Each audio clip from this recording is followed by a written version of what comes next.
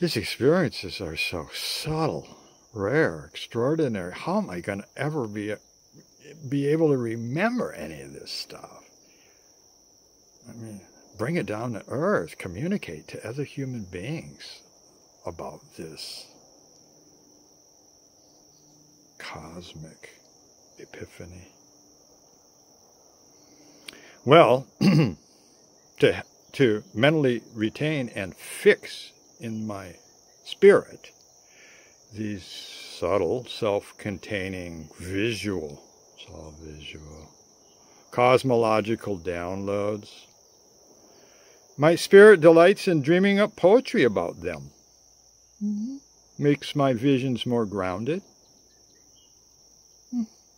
graspable, easier to remember. Bring them down to earth. So here's a poem I wrote to fix it into reality. The five spheres of the self. Fly beyond Buddhist curfew. Mm-hmm.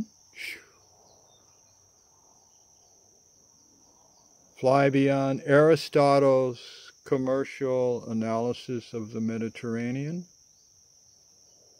Visualize yourself standing on the primal hill. Pure self reflectivity. Controlled, compressed, transcended. Tables, floor, people, light. These things no longer external sense stuff, rather, all the material world. All the etymology of this psyche is enveloped within my perception of it. Mm-hmm. This is in. Visualize your human body spherically in three dimensions. Your human body is a sphere turned outside in, alive, aware, bioglobe, facing into the interior of your inner self. Visualize your human mind. Your human mind is a larger, larger concentric sphere containing the world of your body within itself. Your mind is a sphere turned outside in, mm-hmm. reflecting inward unto itself, inward uh, into your body's world, and the outermost sphere of your being, the world of worlds, which contains all the other worlds, is the globe of your pure spirit. Visualize your planet spirit, golden rays unfurling from its reversibilized, curved global surface and warmly wombing all your other worlds within. Mm-hmm. All right, look. Muster up.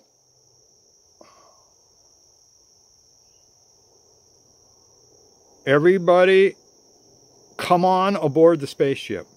Mm-hmm.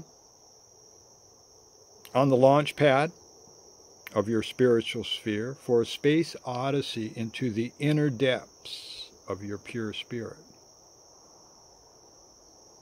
Planet spirit, a sphere turned outside in and lighting inward unto itself, unto all worlds, unto all cosmos,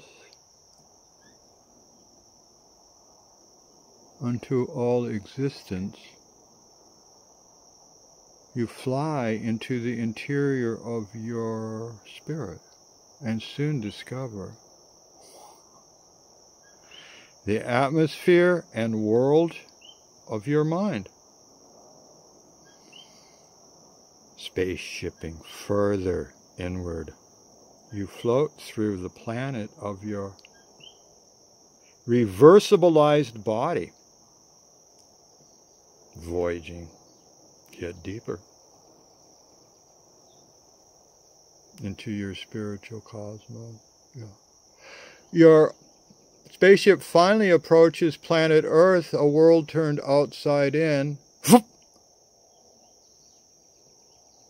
Earth's mountains peaking, winking inward toward what is normally called by common Earth people. We're translating down to them, okay? Um, outer space. Yeah. Now you see yourself. Oh, there you go. Hi. Mm-hmm. A, a, human speck. Yeah.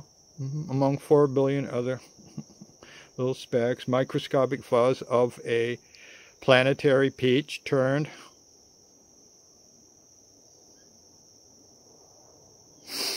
outside in. And outside your reversibilized peachy planet, you can now witness Earth's true outer atmosphere. The lower stratum of your body, the intermediate realm of your mind and the limitless reaches of your pure spirit beyond. But let's not look back. Let's go deeper, beyond the space of the material world to explore the inner territory of your planet turned outside in. Straight away, you fly through a spherical atmosphere of reversible clouds. Your spaceship cruises beyond Earth's gravity, beyond Mars, Jupiter, and quits the solar system to resurrect the forgotten realms of Earth's true inner space. Yeah, to resurrect the forgotten dreams in the core of your divine spirit. Beyond the Milky Way itself, you begin to realize funny phenomenon is coming together because the horizons of the traditionally called ends of the universe converge.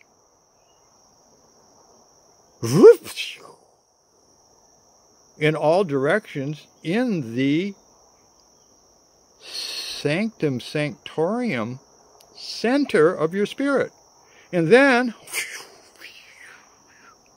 the universe comes out the other side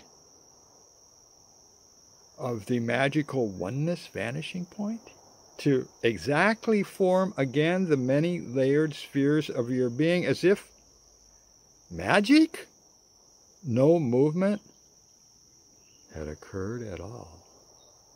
Your birth and death, a single act in a shimmering cosmos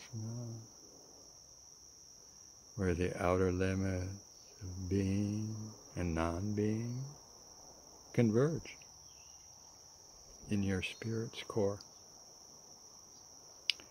Where the absolutes of good and bad synthesize in the heart of your indiscriminately loving universe spirit, where up down, east, west, zero, infinity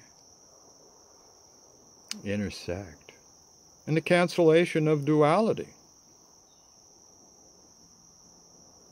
Where humans really get their love together.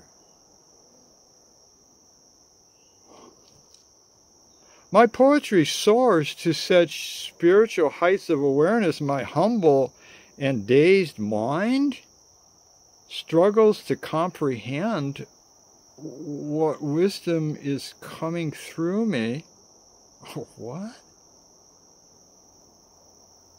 If I'm even the author, huh? Uh, here is such a poem. Satchitananda. Mm-hmm. Satchitananda, Sanskrit.